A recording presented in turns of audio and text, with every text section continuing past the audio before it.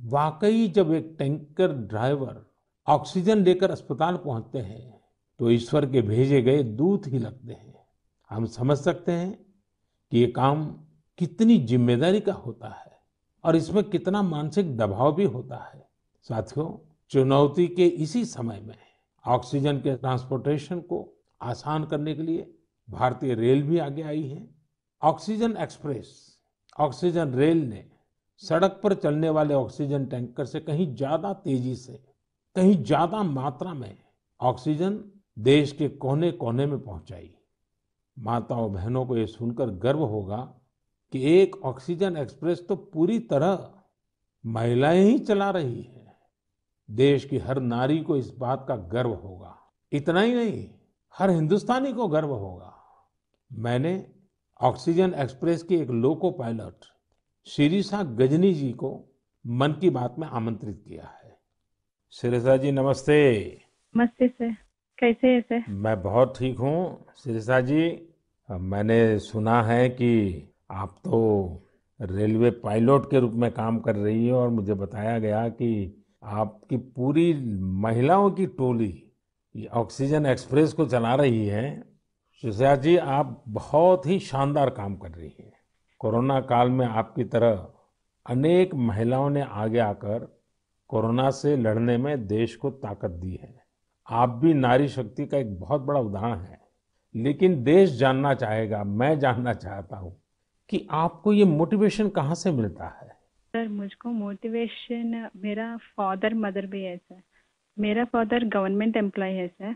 Actually I am having two elder sisters we are three members ladies only but my father giving very encourage to work my first sister doing government job in bank work and i am settled in railway my parents only encouraging me अच्छा सिरिसा जी आपने सामान्य दिनों में भी railway को अपनी सेवाएँ दी है ट्रेन को स्वाभाविक चला है लेकिन जब ये एक तरफ़ ऑक्सीजन की इतनी मांग और जब आप ऑक्सीजन को लेके जा रही है तो थोड़ा ज़िम्मेदारी भरा काम होगा, थोड़ी और जिम्मेवारी होगी।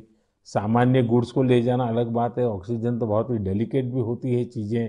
तो क्या अनुभव आता था? मैं हैप्पीली फील किया ये काम करने के लिए। ऑक्सीजन स्पेशल देने के टाइम में सभी देखिए सेफ्टी का wise formation wise any leakage है। नेक्स्ट इंडियन रेलवे भी सपोर्टिव है सर ये ऑक्सीजन चलाने के लिए मुझको ग्रीन पाथ दिया। ये गाड़ी चलाने के लिए 125 kilometre one and half hour में रीच हो गया। इतना रेलवे भी रेस्पॉन्सिबिलिटी ले लिया, मैं भी रेस्पॉन्सिबिलिटी है सर वाह! चलिए सिरसा जी, मैं आपको बहुत बधाई देता हूँ और आपके पिताजी माता जी को विशेष रूप से प्रणाम करता हूँ, जिन्होंने तीनों बेटियों को इतनी प्रेरणा दी और उनको इतना आगे बढ़ाया और इस प्रकार का हौसला दिया है। और मैं समझता हूँ ऐसे माँ बाप को भी प्रणाम और आप सभी बहनों को भी प्रणाम। जिन्होंने इस प्रकार से देश की सेवा भी की और जज्बा भी दिखाया है। बहुत बहुत धन्यवाद शिरिषा जी। धन्यवाद सर। थैंक यू सर आपका ब्लेसिंग चाहिए सर। परमात्मा का आशीर्वाद आप पर बना रहे आपके माता पिता का आशीर्वाद बना रहे। धन्यवाद जी। धन्यवाद सर साथियों हमने अभी शिरिषा जी की बात सुनी। उनके अनुभव प्रेरणा भी देते हैं भावुक भी करते हैं। वास्तव में ये लड़ाई इतनी बड़ी है कि इसमें रेलवे की ही तरह हमारा देश जल, थल, नभ, तीनों मार्गों से काम कर रहा है। एक और, खाली टैंकर्स को एयरफोर्स के विमानों द्वारा ऑक्सीजन प्लांट तक पहुँचाने का काम हो रहा है। दूसरी ओर, नए ऑक्सीजन प्लांट बनाने का काम भी पूरा किया जा रहा है।